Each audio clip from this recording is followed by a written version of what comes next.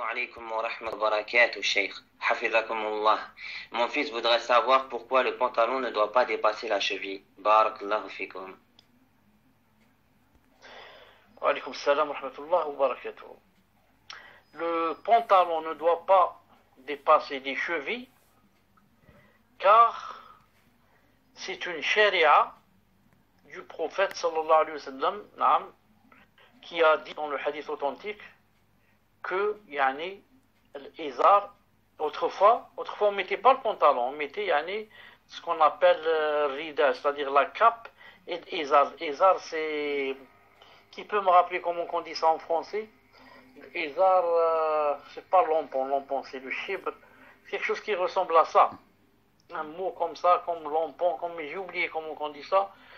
Euh, c'est pas. C'est une euh, je une seconde. Euh, le panier, jazakallahu khair. Le jazakallahu khair. Moi j'ai dit lompon, le lompon c'est le chibre.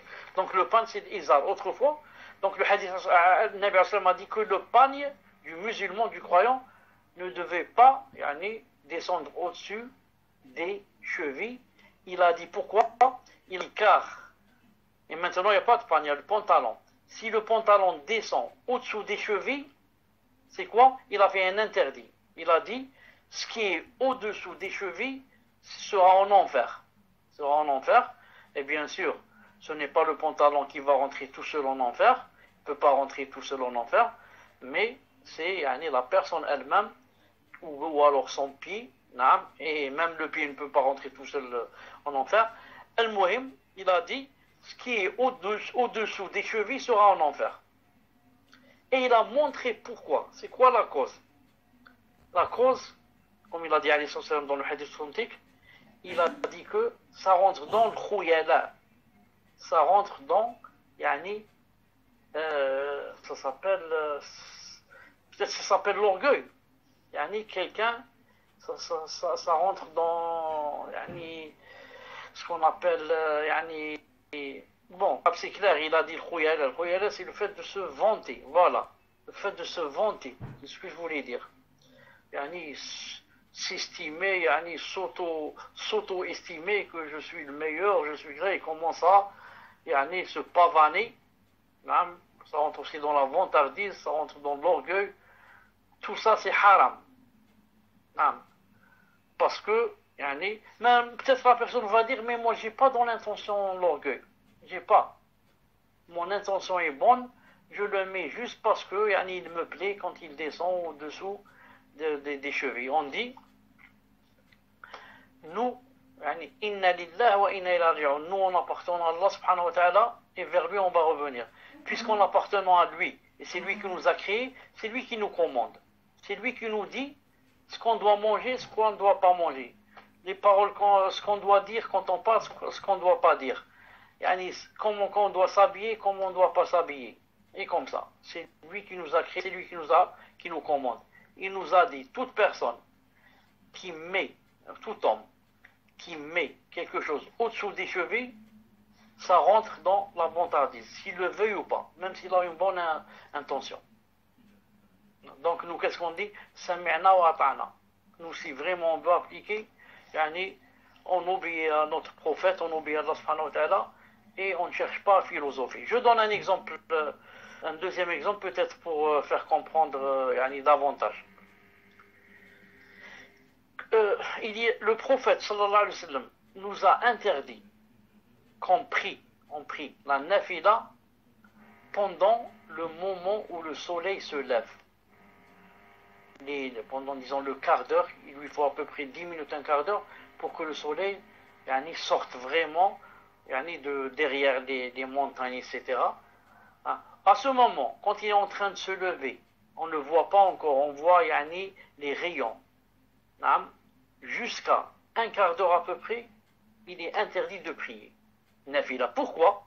Il a dit, sallallahu alayhi wa sallam, car pendant ce temps, il y a des gens qu'on appelle les adorateurs du soleil qui vont donc se prosterner pour adorer ce soleil qui est en se monter. Et là, le shaitan va profiter il va se mettre derrière la montagne parce qu'il a deux cornes.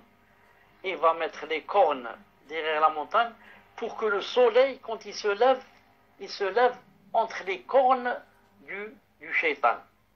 Hein. Donc, nous, les musulmans, quelqu'un peut dire, Ya Allah ou bien Ya Rasulullah, moi je vais prier nafida, pas avec l'intention de, ressembler aux adorateurs du, du, du shaitan. Et d'ailleurs, le shaitan, on ne le voit même pas, on ne le voit même pas.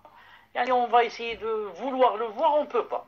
Shaitan, personne ne le voit, ni voit ses cornes. Non. Mais malgré cela, malgré ta bonne intention, malgré que tu ne veux pas ressembler aux adorateurs de feu, et malgré que tu ne peux pas voir le shaitan qui a mis ses cornes pour que le soleil monte entre ses cornes, malgré cela, c'est interdit. Donc, tu dois dire wa ata'na. J'ai entendu, j'applique.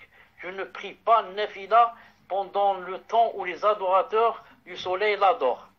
Et je ne dois pas dire j'ai une bonne intention et ceci, cela. Nous avons entendu, nous avons obéi. Je ne prie pas. La même chose ici pour le pantalon. Il t'a dit c'est haram, c'est haram. Il t'a dit que celui qui le fait descendre sous les chevilles entrera en enfer pour être yani, puni pour avoir fait cette chose. Et pour yani, faire euh, que son, pied brûle, etc. Je dis, j'ai entendu, j'obéis. Naam ya Rasulallah, je ne fais pas cette chose, c'est interdit, et ça s'arrête là. Les autres, non, ils vont philosopher. mais moi, j'ai une bonne intention, moi, mon intention, c'est pas ceci, et moi, si je le mets, yani, je le monte au-dessus des chevilles, maintenant, je, suis complexé devant les gens, je vais dire comment, tout cela, les gens ne vont, ne vont pas t'aider demain quand tu seras entre les mains d'Allah Ta'ala. Les gens ne vont pas faire sortir de l'enfer quand Allah Ta'ala va te jeter en enfer. Personne ne viendra à ton secours et te dira, moi aujourd'hui, je vais te sauver. Donc moi je vais essayer de sauver ma peau. Et ensuite, comme disait savants, quand je le mets, ils disent la sunna, par rapport au pagne, au pagne, c'est à moitié yani, du, du tibia. C'est pas seulement yani, je le monte seulement sur les cheveux, mais c'est la moitié yani, du tibia par rapport au pagne, ezar.